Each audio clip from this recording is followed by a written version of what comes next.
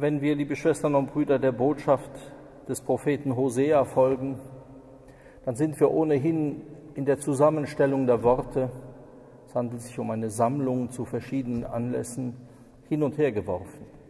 Und das bündelt sich heute noch einmal ganz besonders.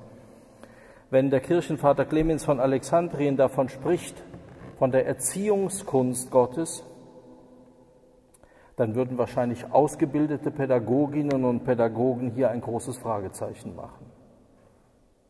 Gott liebt ein Kind, liebt dieses Israel über alles, verwöhnt ihn, das haben wir gehört in der Schilderung, aber dann muss er ihm drohen, weil es sich um ein aufsässiges Kind handelt.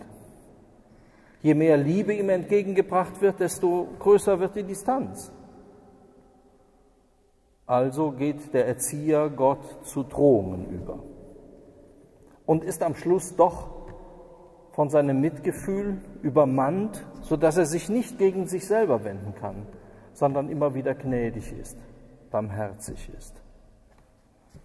Ob das erfolgversprechend ist in der Erziehung, wollen wir einmal dahingestellt sein lassen. Wahrscheinlich nicht.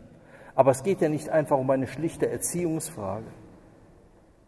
Wenn wir heute ein wenig leichtfertig, wie ich finde, immer von der Barmherzigkeit sprechen, dann ist es zunächst richtig, dass wir nach dem Wort Jesu im Evangelium barmherzig zu sein haben. Da gibt es überhaupt gar keinen Zweifel, gar keine Diskussion. Und zwar so genauso wie Gott selber. Aber wir sehen das immer im Blick auf andere. Wir sollten vielleicht zuerst, bevor wir den Mund zu voll nehmen, einmal unser eigenes Verhalten anschauen, Gott gegenüber. Und durchaus den Mut haben, all die Situationen anzuschauen, in denen, in, in denen wir für Gott möglicherweise eine große Enttäuschung sind. Wie viel hat er uns gegeben? Alles. Es gibt überhaupt nichts, was wir haben, was wir sind, das wir nicht von ihm hätten.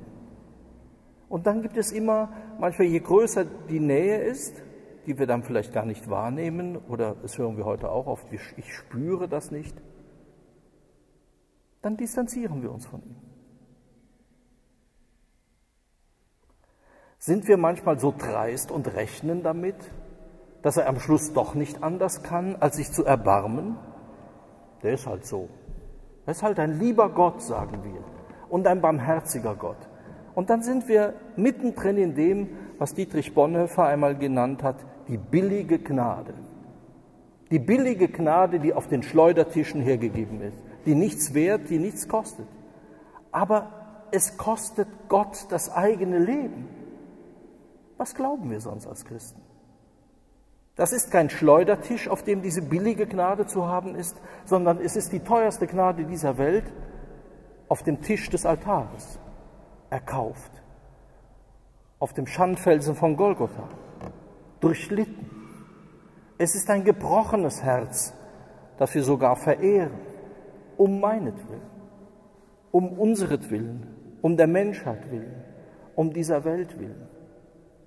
Vielleicht ist es gut, bevor wir dann von Barmherzigkeit reden und sie tun, und das ist ein Gebot Jesu, ein Gebot des Evangeliums, das sich selber einmal zu eigen zu machen sich einmal auf die andere Seite zu stellen, sich wirklich in die Rolle dieses Erziehenden, dieses Pädagogen, der Gott ist, zu stellen und sagen, was geschieht da eigentlich ständig? Was erleidet, was erlebt Gott ständig mit mir, mit uns, mit dieser Welt, mit seiner Kirche? Und erst wenn wir beginnen, das zu erahnen, dann reden wir nicht mehr von billiger Gnade.